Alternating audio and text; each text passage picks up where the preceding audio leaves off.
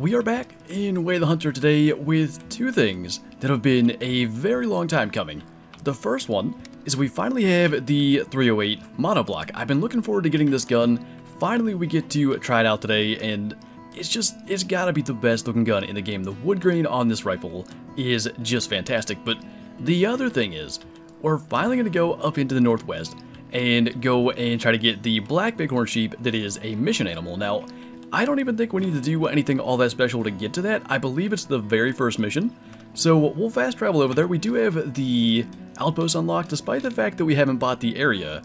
I'm kind of considering trying to unlock this area just through missions, just as a little bit of something different to do, and we'll kind of see how that goes. But because I think we'll be able to do this fairly quickly, we may go and just test out the 308 on some other species. So normally had we not already picked up the paper, it would be laying here, we'd get the information to go and do it. And I think I can, in the menu here, get the proper objective active. And I mean, looks straightforward enough, harvest the black bighorn sheep, and especially aggressive bighorn, who happens to have black wool. So we'll activate that, and as we head off here, the area is marked on our map, probably over a mile away, 1.1 miles in fact. We actually have switched today to the hunter difficulty. Now, I've actually heard that maybe the Adventurer and Hunter difficulties are switched, and this is actually going to be easier than what we've been dealing with. And I wanted to test that, and I think Bighorn are going to be a really good way to do so. So we'll start our one mile trek, and see if we can get our second mission animal, as we did shoot Hollywood on stream this past week. I will say they did not exactly make this easy. We're on a Bighorn trail right now, and I'm assuming if we just kind of continue along the path, we're likely to find a zone that maybe they could be using, but we are well into the area, and still no sign of anything at all other than a rarely used rest zone. However, we might be onto something now. Now, our wind is just not good, so I think we might have to crawl from here. I want to say that almost has to be our guide there much darker than these two down here, but there is a 2-star mature and then more importantly, a 4-star mature right down in this area. So we'll have to return to here eventually, but as for now, we may have to wait this out until he kind of walks down to the right. But I think we at least found the right sheep. We've had to go all the way out and around, but we have a pretty clear shot into there at the darker bighorn, so before he decides to move off, we'll go ahead and take that shot. We actually did a perk there. Is he missing a horn? It looked like he was, but he went down in a pretty good spot potentially for a photo. And again, the 308, getting to see how that does on Bighorn, it did a pretty good job in that case. Now, I will say, in terms of switching difficulty, I was able to sneak all the way around that lake, just crouching along, and none of the bighorn looked our way despite the wind being a little bit subpar. So I do kind of wonder if there is anything to that. We shall see as we continue along, but let's see, we're sort of in the sun here, at least a little bit. Eh, would have been better if he fell on the other side, but maybe we can make this work. I mean, kinda, but I think this is going to be one that we have to take a look at in the Trophy Lodge. As for this guy, though, oh, he has... That's interesting. He has both horns in the harvest screen, but we actually managed to impact the heart with the bullet shockwave there. Obviously, we know he is just the one star, 50% on the genetics, and I assume he just can't get any bigger than that as he is a mission animal, but pretty cool. We only lost 1.83 pounds of meat from that 308 shot, and we are definitely going to taxidermy that. There are two different multi-mounts in the lodge on one of the rock mounts, and I wasn't sure if I wanted to do bighorn or mountain goat. But because of that, I think we're going to have to do the bighorn. Well, as per usual, I kind of just end up wandering around in the mountains for way longer than I think, and it's kind of starting to get dark out here, so that is a young whitetail buck with what looks to me to be really solid potential, but this one over here, probably not so much, so we're going to see if we can get this kind of odd angle shot with the 308. I'm curious to see how that actually does, and it looked like just as he was starting to go down that hill, he may have been beginning to stumble. So I'm glad we actually have something more to test before we go to the next day. There is a lot that's going to be going on once we rest to the morning, And I think it could potentially get chaotic enough that we lose track of actually trying to test this gun. And I've gotta say, a very easy blood trail to follow, despite the fact that we are in relatively low light, so let's see if we made the right decision. Definitely though, at that angle, no big deal, sting along a little bit of liver damage as well, and still brought him down pretty quickly, despite the fact that we didn't even hit the far side lung at all. Now, this guy is a 67.75% genetic potential buck, so I think a good one to take out. We'll sell that. We'll go back to the main lodge, and of course there is a mission which I'm trying to save for just streams, so we have to confirm through that as well. But let's go back then and rest, and we'll also mount our Black Bighorn. And it is nice to see him up there with both horns. I don't know what the deal with that was when he didn't have the one when we actually shot him. And this is a thing too in photo mode, sometimes like some of the fur is seemingly missing. But I think that's going to look good up there, hopefully, next to a 5-star bighorn, maybe out of the same herd, if we can wait that out and see if he ages. But that is basically where the rest of this hunt is going to go. Now, it is currently about 7.30 a.m. I want to go out and see if we can take advantage of our morning time before mule deer start to drink. And that's where things could get a little interesting. There are no less than five 4-star mule deer on this map right now, and because we just passed through another day, I want to go and check all those out. So we'll see if we can actually find them, we'll see if any of them have aged, and before we do that, we'll go and see if we can find anything just out of here feeding prior to that drink time. Now this is not one of the herds that I've been watching the 4 stars in, but there actually is in here as well, a 3-star, and this is where things can get kind of tough with species like mule deer. He obviously has a really solid set of antlers, and it's just tough to tell, could he actually reach 5 stars or not, and I think we're going to leave him go for now. There is also in here a 1-star mature that definitely needs taken out, and I think there's another buck somewhere off to the right side that I'd like to get a better look at. And while we can't actually see the antlers, we can see he is a two-star mature, and actually since that doe laid down, we can see a little bit better. But I think that actually might be a good one to go ahead and take out. So again, bit of an odd angle for the 308, but let's see how it does. Did we not get that same perk earlier? Apparently that was a really solid hit though.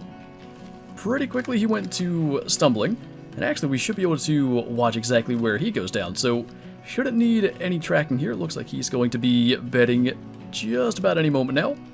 And as we walk over there, let's see what that perk was, which I'm not sure how we unlocked twice, but gotta be one of these in here. Oddly enough, it is a lever action perk that we just unlocked, despite the fact that we were using a bolt action rifle, but we can tell looking up close here, this guy is not that great of a genetic buck, 55%, Completely uneven though, the front has a fork on the left side, the back has a fork on the right side, so a good one to take out. But to actually go and look at that is we have to double confirm that for that mission. If we go into the perks here, we apparently have 75 lung, heart, or artery hits with a lever action rifle, which makes it 25% faster to aim down sights, despite the fact that, again, we're using a bolt action rifle, and apparently it could be classed incorrectly or something like that, but no complaints, that'll help us out in some scenarios. So it is now a good bit after 9 o'clock in game. In fact, we are past 9.30. And we're over here to check our first mule deer. And we can see the big one here is still a 4-star mature. But I'm kind of wondering if we need to uh, take that shot anyway. There's two things. Number one, he is fairly gray in color. It's tough to tell there, but the adult behind him is far more brown and you can kind of see that lighter shade for his fur, so that's one thing to look for in trying to uh, field judge the age of the animals. Now, the really old mule deer tend to have kind of like some scarring in the center of the body, and I don't see any of that, but the other thing that kind of makes me worry is that none of these other bucks are even remotely decent, which makes me wonder if the genetics in this herd are all that good, and I kind of wonder if this guy is at his peak, so at the risk of shooting a deer that could be a 5-star, I think we're to take him and, and just try to learn here. Plus, we haven't gotten to shoot anything all that big on this hunt, so fingers crossed this isn't a mistake. If we see anything above probably like 88%, probably that guy would have made it eventually, but I've been watching him for quite some time, he's getting pretty gray. I think we got to take him and at least try to learn here. There are so many 4 stars on this map, if there's one species to experiment with, probably right now it's the mule deer. But once again with the 308, a pretty solid performance. I will say he's looking a little more brown up close, so that's kind of alarming. But this guy, which we double lunged at 138 yards, actually I think we made the right move here. 87.46 on the genetic potential. Now, I have seen screenshots of animals roughly in that range being 5 stars, and it's so tough to tell like how far along in his life cycle he is, but to me, the fact that he was looking pretty gray, and by the way, in the harvest screen it doesn't matter, they all seem to have the same fur, I kind of think that might have been a good move. I'm, I'm tempted to tax him. Almost told him let's tax him, because I, I really, there's two things. For one, I don't know how, did we just cancel that, I think? I don't know what's going on, but it seems we have no choice but to activate this mission. I guess better now than when I'm not recording. So now we'll actually go ahead and taxidermy him. And I guess harvesting doesn't require you to sell them, so that is interesting news, but there are two things that come to that. One, I just want to actually fill the trophy lodge a little bit more. The other is, there is actually a perk, interestingly enough, if we can find it, Collector, 30% extended space for animal trophies when you've displayed 50 taxidermied animals in the lodge. So I kind of want to work on that. Taxidermying a nice 4-star mule deer, even as a placeholder, will help with that. And now we'll be off to the other couple areas. And for the second time in a row, the 4-star buck that we've come to check remains a 4-star. Now, it's hard to see he's kind of back in there, but I don't know, he looks a little bit gray. It's hard for me to describe, but he doesn't look as old. Now, there are some really encouraging genetics here, and I think that's why we're going to let this guy go. There's a 3-star there, and I don't know if we can get him spotted. There's another 3-star right up there by him. There's also right up here a two-star mature, and compared to that last herd, the genes are just much more promising, and I think it could be worth experimenting and letting him go. Kind of a better look here actually. He may be just a touch kind of lighter than the three-star beside him, but I don't see nearly as stark a difference, so we're going to let him go. One more thing before we move on. If you go into the encyclopedia for mule deer, their maturity stage is quite long, 7 to 12, so 6 years of being a mature. I think that's going to be enough leeway to maybe let this guy go a little bit longer. So now we begin to make our way down to our last spot, which probably will not surprise you guys that it is the far southeast corner. Now, there's a tent right by that lake, but I find it's too close, I end up spooking stuff, so I run all the way down and around to try to get to a better vantage point. And when I purchased the 308, I decided to go and check that spot out, and it once again proved why it is such a good area. Well, one thing that is definitely for certain, this area in the southeast is absolutely insane. We've got another 5-star mule deer out here, and this time, we're running with the 308. I just got a hold of it, and I'm looking forward to seeing how it does. So, I'd like him to stop, but I think if we can get them still broadside and maybe between these two trees, we'll probably go ahead and take the shot. You want to make sure they're well away from any kind of vegetation because hitboxes can be pretty big, but that should be okay. Looks perfect. I mean, the amount of blood, and he went absolutely nowhere. I got to shoot one mountain goat with this. That's the second shot I've fired. That is pretty darn impressive. Maybe a hard shot, and I probably can no longer even count how many times I've taken a shot with the closer leg forward, thinking that maybe that gave us a easier shot into the chest cavity and into the heart, but the amount of blood there, that actually may be the case this time. But look at the ivory tips on this guy's rack compared to the other one. They're almost non-existent. That is really, really cool to see. But this guy, not a heart shot, just double lung, although both lungs, apparently, I, I don't know exactly what the key kind of here is with the, the red and the blood droplets, but I assume that means that would be a lethal shot. And I guess even both lungs, despite the fact that we're a little bit below the recommended hit energy, but this guy was an 89.51%.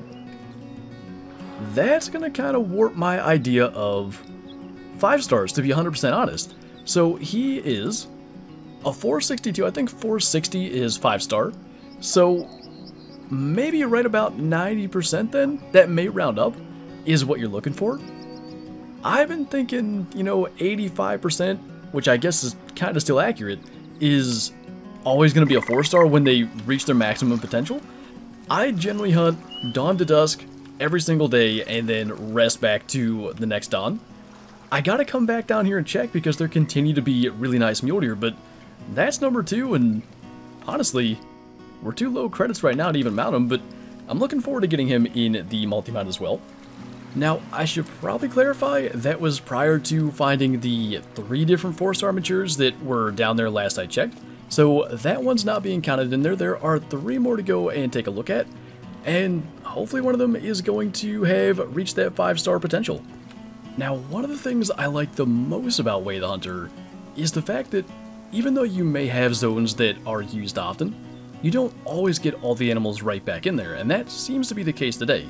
We do have a 4-star mature there, and I thought maybe back further in this herd was another decent buck that we haven't spotted yet. And in my opinion, both the 4-star and this 3-star over here are looking pretty old, they're looking pretty gray. So, likely, we're going to end up taking the shot on the 4-star. Now, I want to wait, because as we can see, more deer are filing up into here. So I want to make sure there isn't anything better coming up through behind. But I definitely do not see three different 4-star bucks, and it could actually be the case that one of the 4 stars has just reached its peak age and died. So even though I wanted to kind of wait and see what would come up out of here still, we do have a doe scooting across real quick. I kind of think we might need to go ahead and take the shot. These guys are getting a little farther away than I would like. We'll give it one last glance, but I don't want to end up having him escape and die of old age somewhere else. So when he gets out from behind this tree, and I guess that gives us one more opportunity to take a look. Now that actually is a nice buck. That is a... I can't get the thing to stay up. That is a 4-star as well. Now that looks a little more brown to me. So again, I think we'll leave him. And in that case, we want to go ahead and take this guy out. Wait. Which is which there? That one looked bigger. That's a 4-star mature. That's a 3-star. And then that, we almost shot the wrong buck entirely. That would have been a problem. So it is that one back in there then that we actually want to take out. Let's stand up so we can get maybe past a bit more of this brush. And I think this will be our opening to take the shot. I don't want to end up having our bullet strike something and him get away and possibly die of old age. So now we know we're looking at the right deer. And you can see again just how much lighter in color his back is. The Problem is, he is pretty well covered up by some other deer I think we have room now. Look like we got him good. And it's going to be a mess of mule deer coming out of here, so if we can somewhat keep an eye on him, and I, I don't know where he went already, that would have been good. But I expect, given everything we've seen from the 308 today, Hilly should have gone down somewhat quickly. And again, I really do want to experiment with when to take 4 stars, when to pass them, and all that stuff. And the mule deer, because we have seen so many 4 stars, have definitely been the best species to try to learn with. So, again, I'm hopeful that this one is in the 80s somewhere, that is my guess, and hopefully soon we can find out. Blood looks pretty good, and I mean, I didn't see him run up out of there, so maybe he went down to the left? That is definitely the one kind of negative of shooting a deer in among so many others. It's hard to keep track of what's what. Not only did I end up having to uh, go back and review the footage to uh, see what direction he ran in, I also walked right past him, like five different times. The blood track here kind of indicates he's going up the hill. I didn't realize that he had slid down into this little area down here, and we'll see again, like I said, that really light colored back would indicate to me a pretty old age, and definitely the angle we shot, I guess, really, we did not have the amount of power I would have expected at 130 yards. We were a touch low, but you can see it was mostly the shockwave damage from the bullet that ended up killing that buck with the left lung shot, but he was actually 77.86% on the genetics, which is interesting to see, honestly. Even one below 80% can end up being a really solid buck, so his total score then was 419. That leaves him about 40 below the requirement for a 5-star.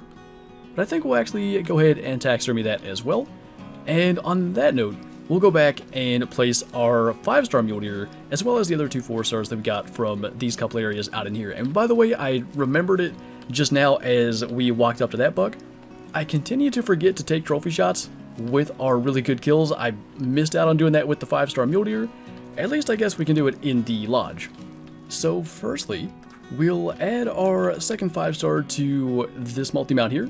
And we want to select the top one there, make sure we're doing that right and not spend 1800 credits for the wrong deer. And to look at it in here, you can see it a little bit. Maybe in the photo mode, we tried this last time and it didn't help a ton, but you can see the much lighter tips on all the tines than our original 5 star. Maybe if I change the time of day, we can even see it better. And I mean, you can see it, but I really would like if we could get better lighting in here. I mean, the windows, you would think we could, but still ends up being a little bit hard to see. But compared to that, you can see the much lighter coloration in the end of the tide, so I really like that. As for our couple of 4 stars, I kind of want to start on some stuff in the lower level as well. And actually, I think this could end up working out pretty well. So there's two plaques side by side here, and we can do the mule shoulder mounts on them. I wish we could change the direction that they're facing. I don't think that's a thing. But we'll go ahead and place both of them for now, and that is way cheaper at 260 credits to actually taxidermy those. So not a big deal. You know, I'm not sure we could put a 5-star there. Those tines are getting pretty close to the bottom of that rock, so probably best we have the 4 stars for now. But we'll do the other shoulder mount, another 260 credits to do that, and just starting to fill this trophy lodge a little bit better. It is interesting. They don't appear to be exactly mirrored, which maybe is intentional, but I like that. Again, even with the 4 stars, very different racks, different shapes, and the one on our right has a lighter rack in general. The one on the left has a much darker rack with nice kind of light colored tips as well. But that's pretty cool to see. The antlers, when you see them on the hoof, it's not always as obvious just how different they are. When you get them in the lodge and can really pick apart those little details, it's pretty impressive what they've actually done, and I, I love how big the deer are. I'm really hoping one of those remaining 4 stars can become a 5 star. I'd love to complete this multi-mount up here. But it was good to go around and get to check those things out. The 308 is a fantastic gun we've seen, and I'm looking forward as well to that Bighorn. One last thing before we wrap up here. If we go into the maturity range for Bighorn, they have a pretty decent length, 9 to 12, so about 4 years in there where they can potentially grow. I'm hoping that guy can get a little bit bigger and reach to that 5 star. But anyway, that is going to do it for this video, so we'll have to check that in a future one. So as always, thank you guys for watching, and I'll see you next time.